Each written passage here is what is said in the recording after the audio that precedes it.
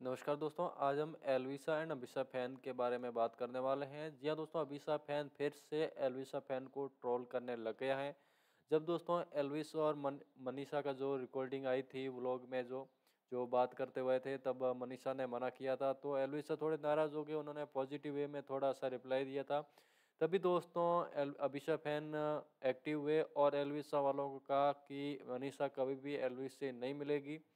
और उसके बाद काफ़ी ज़्यादा ट्रोल किया जा रहा है। अभी भी दोस्तों एक अभिशा फैंडम के लिखा है कि अब जाओ स्ट्रीमिंग करो और इस घमंडी इंसान को नीचे करो। जी हाँ दोस्तों, स्ट्रीमिंग करो और इस घमंडी इंसान को नीचे करो। इस प्रकार मतलब एलविस को बोला गया है कि इस घमंडी इंसान को नीचे करो।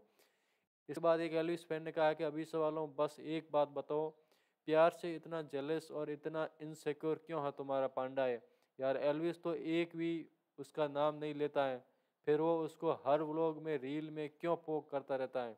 तुम लोग को नहीं लगता कि तुम लोग अभी सा करके रह गए और एलविस कहाँ पहुँच गया? सच बताना। यह दोस्ती आर्मी से आया है मैसेज।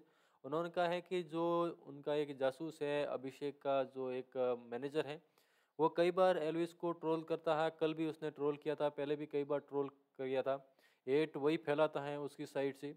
और तुम फिर भी दोस्तों कहते हो कि एलविसा, एलविस मनीषा के फ़ैन ट्रोल करते हैं। ट्रोलिंग तो वो करता उसे भी तुम कुछ नहीं बोलते हो। उसके बाद दोस्तों, एक एलविसा फ़ैन ने रिप्लाई किया है कि भाई, किसी को सरकम नहीं समझ आता, किसी को फलट, मस्ती, मज़ाक नहीं समझ आता। तुम्हारी यही अपनी समझ है। इसमें एलविसा क्यों क्यों गाली दे रहा है? एलविसा को गाली कई बार पड़ रही थी, आज बहुत ज़्यादा गालियाँ दे रही है कि अभिषा फैंडम ही एलविसा फैंडम बंद कर मनीषा की पोस्ट पर गालियाँ दे रहे थे। पहले भी जब टोनीसा का, जब सॉन्ग आया था टोनी और मनीषा का, तभी दोस्तों इन्होंने गालियाँ दी थी, तभी ये हाईलाइट हुए थे। उसके बाद एक एलविसा फ़ैन ने लिखा है कि सुपाना भी नहीं आता, जनता भी नहीं आता, हमें तुम्हें मोहब्बत है, बताना भी नहीं आता।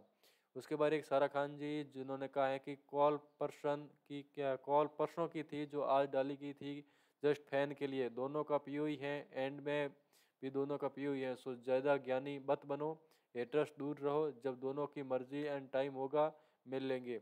ज्ञान वाले जाकर अपने अपने लाइफ देखो। जी हाँ दोस्तों। उसके बाद एक अभिषा पेंडम ने लिखा है sorry on a funny note Elvis से ज़्यादा इम्पोर्टेंट तो कटारिया लग रहा है। मिलने के लिए मनीषा सो कैसे पीछे से सजेशन दे रहा था कि रोड पर भी मिल लेंगे। उसके बाद दोस्तों देख लीजिए, एक बार और देख लीजिए, जब बताया गया नियॉन मैन जी हाँ दोस्तों, आज हम बात करने वाले हैं नियॉन मैन को भी हम बताएँगे, क्योंकि नियॉन मैन एलविस की जब हेटफुल कमेंट आता है, जी हाँ जब कोई ऐसा आता है कि उनका नेगेटिव कोई आता है, जैसे किसी ने कह दिया एलविस के बारे में गलत, वो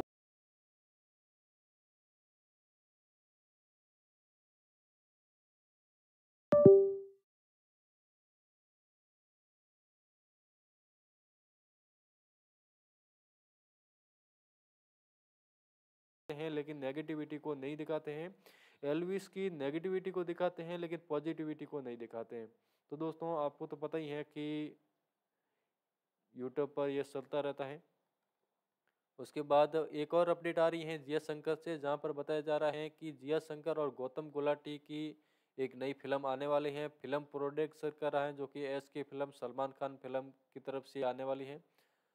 और एक एलविसा वालों ने एक बहुत ही अच्छा ये रील बनाया था एलविसा का एक चैनल है, एलविसा को सपोर्ट करता है। काफ़ी अच्छा रील था। तो दोस्तों, आप इस पर क्या कहना चाहते हैं, अपने कमेंट बॉक्स में ज़रूर दीजिएगा। आज की जो अपडेट थी, वो मैंने आपको बता दी है। बाकी का दोस्तों, मिलते हैं एक नई वीडियो में। तब तक आप सभी का धन्यवाद। जय हिंद, जय भारत, वंदे मातरम।